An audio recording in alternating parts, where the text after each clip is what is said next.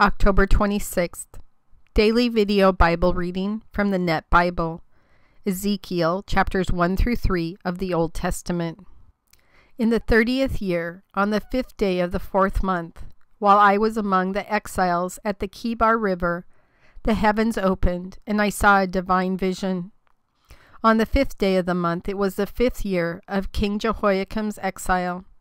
The word of the Lord came to the priest Ezekiel the son of Buzi, at the Kebar River in the land of the Babylonians. The hand of the Lord came on him there. As I watched, I noticed a windstorm coming from the north, an enormous cloud with lightning flashing, such that bright light rimmed it and came from it like glowing amber from the middle of a fire. In the fire were what looked like four living beings. In their appearance, they had human form but each had four faces and four wings. Their legs were straight, but the soles of their feet were like calves' feet. They gleamed like polished bronze. They had human hands under their wings on their four sides. As for the faces and wings of the four of them, their wings touched each other. They did not turn as they moved, but went straight ahead. Their faces had this appearance. Each of the four had the face of a man, with the face of a lion on the right, the face of an ox on the left, and also the face of an eagle. Their wings were spread out above them. Each had two wings touching the wings of one of the other beings on either side, and two wings covering their bodies. Each moved straight ahead. Wherever the spirit would go, they would go without turning as they went. In the middle of the living things was something like burning coals of fire or like torches. It moved back and forth among the living beings. It was bright, and lightning was flashing out of the fire. The living beings moved backward and forward as quickly as flashes of lightning. Then I looked, and I saw one wheel on the ground beside each of the four beings.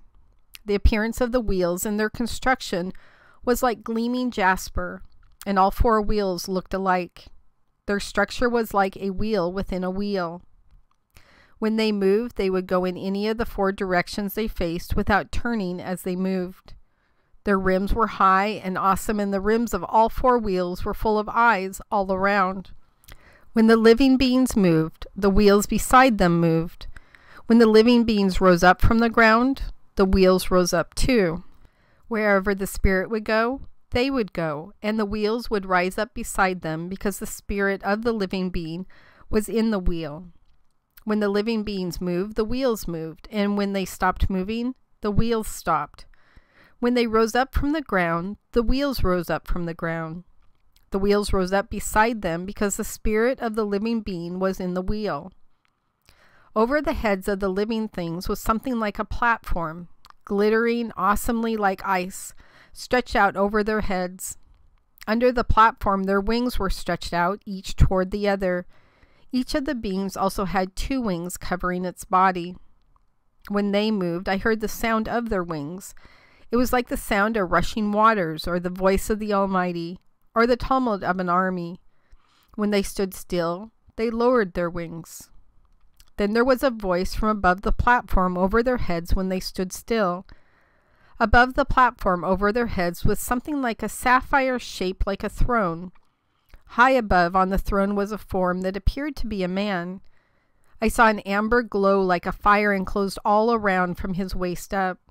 From his waist down, I saw something that looked like fire. There was a brilliant light around it, like the appearance of a rainbow in the clouds after the rain. This was the appearance of the surrounding brilliant light. It looked like the glory of the Lord.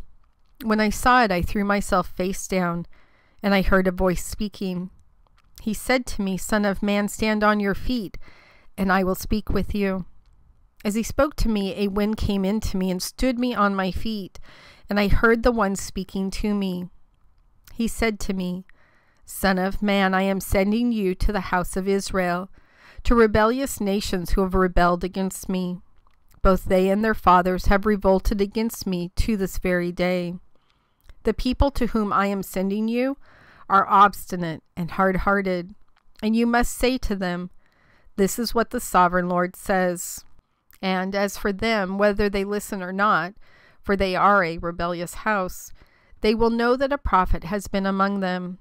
But you, Son of Man, do not fear them and do not fear their words, even though briars and thorns surround you and you live among scorpions. Do not fear their words and do not be terrified of the looks they give you, for they are a rebellious house. You must speak my words to them, whether they listen or not, for they are rebellious. As for you, Son of Man, listen to what I am saying to you. Do not rebel like that rebellious house. Open your mouth and eat what I am giving you. Then I looked and realized a hand was stretched out to me, and in it was a written scroll. He unrolled it before me, and it had writing on the front and back. Written on it were laments, mourning, and woe. He said to me, Son of man, eat what you see in front of you. Eat this scroll, and then go and speak to the house of Israel. So I opened my mouth, and he fed me the scroll. He said to me, Son of man, feed your stomach and fill your belly with this scroll I am giving to you. So I ate it, and it was sweet like honey in my mouth. He said to me, Son of man, go to the house of Israel and speak my words to them. For you are not being sent to a people of unintelligible speech and difficult language, but to the house of Israel not to many peoples of unintelligible speech and difficult language, whose words you cannot understand. Surely, if I had sent you to them, they would listen to you. But the house of Israel is unwilling to listen to you, because they are not willing to listen to me. For the whole house of Israel is hard headed and hard hearted. I have made your face adamant to match their faces, and your forehead hard to match their foreheads I have made your forehead harder than flint, like diamond. Do not fear them, or be terrified of the looks they give you, for they are a rebellious house.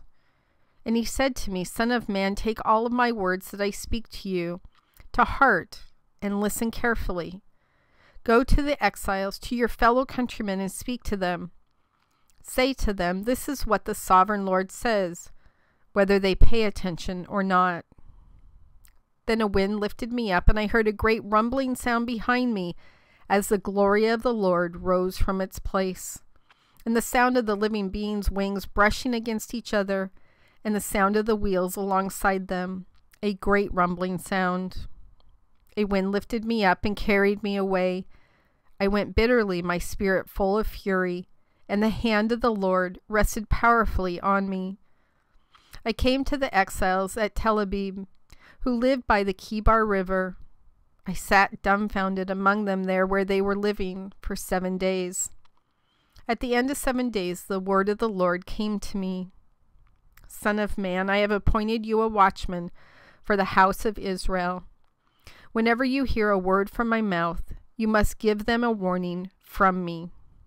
When I say to the wicked, You will certainly die, and you do not warn him, you do not speak out to warn the wicked to turn from his wicked deed and wicked lifestyle so that he may live. That wicked person will die for his iniquity, but I will hold you accountable for his death. But as for you, if you warn the wicked and he does not turn from his wicked deed and from his wicked lifestyle, he will die for his iniquity, but you will have saved your own life. When a righteous person turns from his righteousness and commits iniquity, and I set an obstacle before him, he will die. If you have not warned him, he will die for his sin. The righteous deeds he performed will not be considered, but I will hold you accountable for his death.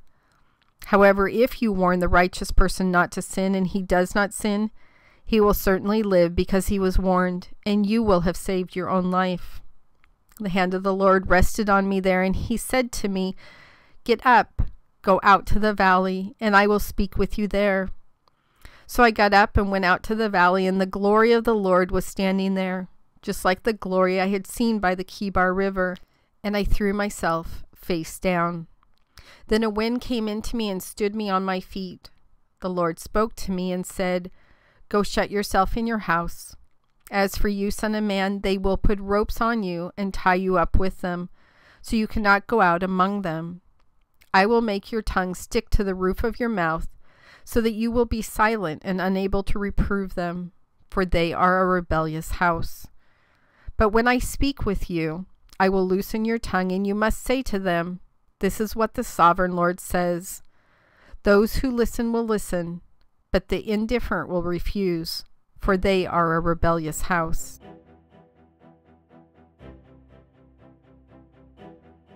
God, a lot of people don't like reading Ezekiel because uh, it's odd.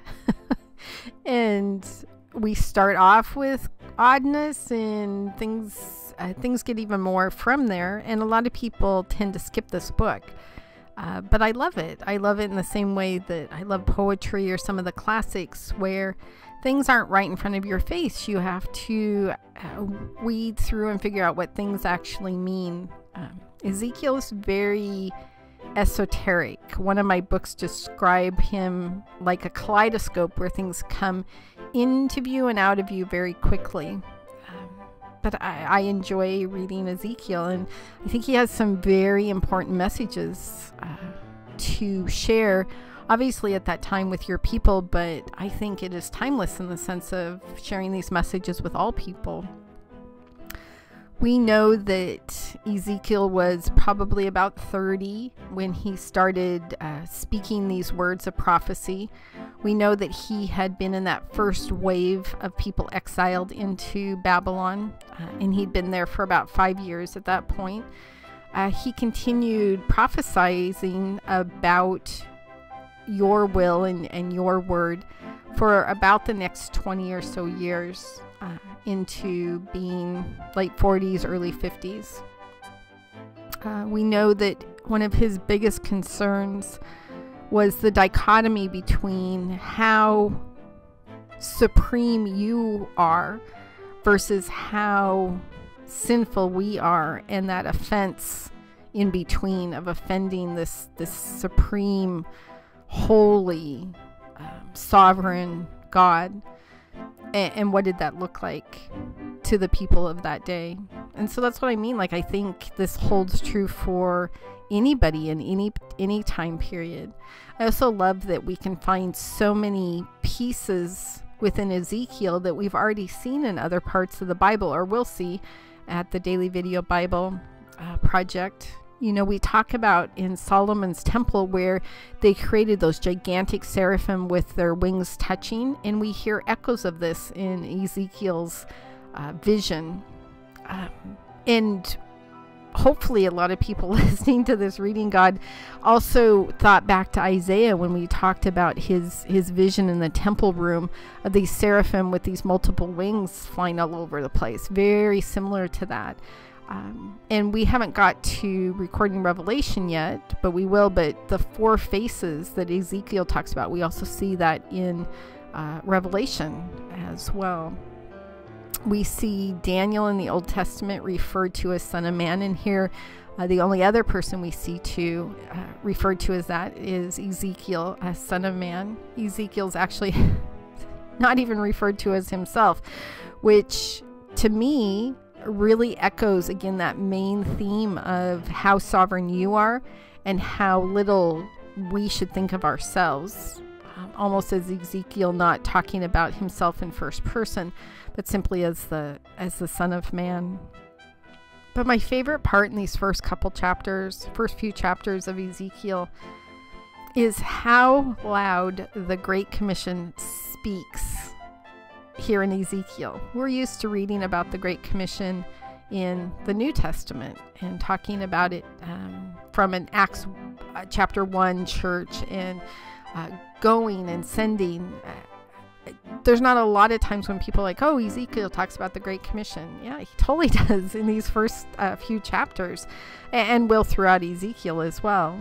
Um, God first and foremost asks him to eat of this message that he wants to share. So, first and foremost, for us to understand the Word of God. And we do that obviously by reading your Word in the Bible and, and having conversations with you or praying to you um, throughout the day and, and learning. So, Ezekiel first and foremost had to learn about your Word. And in this case, he ate your Word.